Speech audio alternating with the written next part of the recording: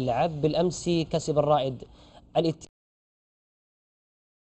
التاسعة عشر من دوري زين السعودي للمحترفين. هناك في مدينة الملك عبد الله بن عبد العزيز الرياضية ببريدة. كان لجماهير الفريقين الجانب الرائد والاتحاد حديث بعد هذه المواجهة. نشاهد.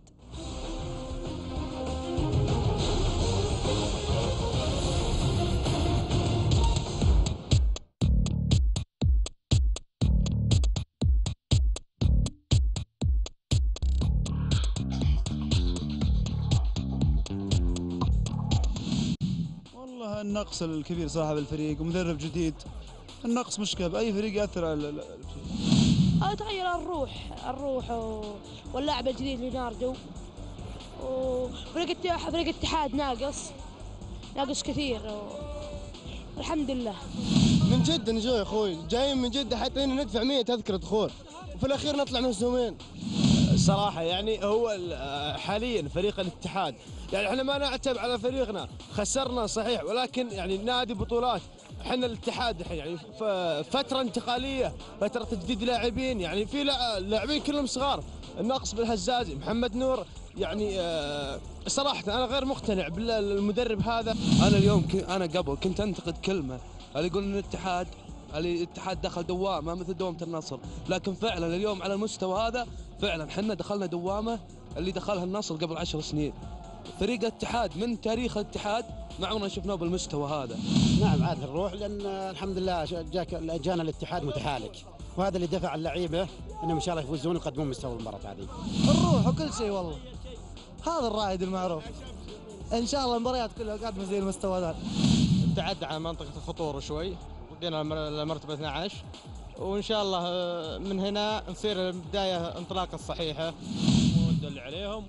وهذا مو مستغرب على فريق آه، الرايد والحمد لله يوم صاروا بيوم واليوم فازوا الحمد لله مبروك على الجميع. وهذا إن شاء الله عودة الروح للرائد إن شاء الله.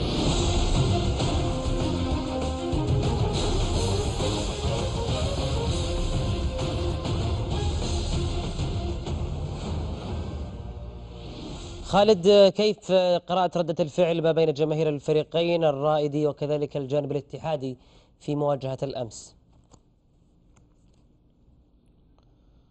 آه، ردة فعل طبيعية وأنا أعتقد آه، يعني الجماهير ال- الاتحادية بالذات يعني يعني ال- حال الاتحاد آه، يعني أدى إلى يعني أصبحت حتى جماهير ال- الأندية الأخرى تحزن لحال الاتحاد فما بالك في جماهير الاتحاد؟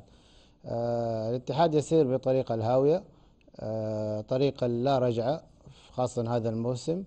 آه، لا لا إدارة يعني تجيد قراءة ما يحدث تتعامل بشكل غريب مع اللاعبين تغير اللاعبين وتأتي بلاعبين آخرين بطريقة غير احترافية. أقالوا المدرب آه، أقالوا المدرب آه، وأتى عبد الله غراب ثم هذا كيك وأقالوه آه، ليس هناك منهجية فمن الطبيعي أن يحدث ما يحدث الاتحاد. حتى حتى الاستغناء عن صالح الصقري ومناف أبو شقير حصل بمكالمة هاتفية وبرسالة جوال ويعني أمر غريب يحدث في الاتحاد. يعني هذا ليس إحلال. أنا أعلم الإحلال أن يكون هناك الزج بعناصر شابة. خالد بديلة. خالد تس- الآن نحن نجد خالد إذا تسمح لي تفضل. إذا تسمح لي بنجي للحديث عن ال- ال- الوضع الاتحادي. الزملاء مجهزين تقرير عن الوضع الاتحادي بشكل عام. أنا بس فقط تفضل. ردة الفعل بسأل الأستاذ محمد. وبعدين بنرجع إن شاء الله في التقرير القادم عن القراءة الكاملة للوضع الاتحادي. كيف قرأت ردة الفعل الجماهيرية؟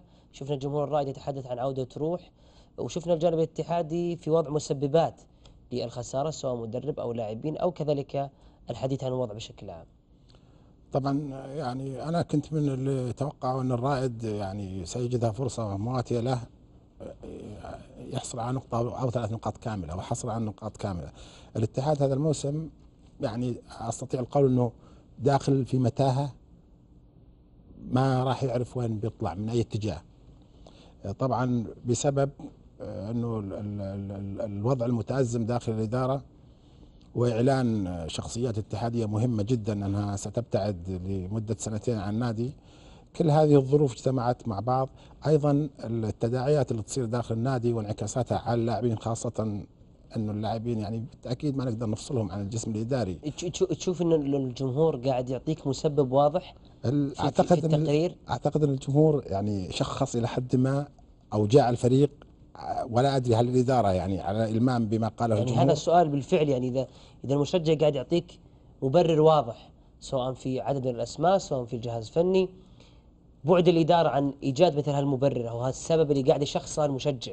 آه، شوف ربما الإدارة تقع بين أطراف متضاربة في الرأي فهي عارفة أنها تمشي في هذا الاتجاه أو تمشي في اتجاه يمكن هناك فريق يضغط في اتجاه معين وفريق يعارض في اتجاه آخر. الإدارة الاتحادية يعني أتمنى ألا تقع في الخطأ اللي وقعت فيه إدارة النصر. جميل.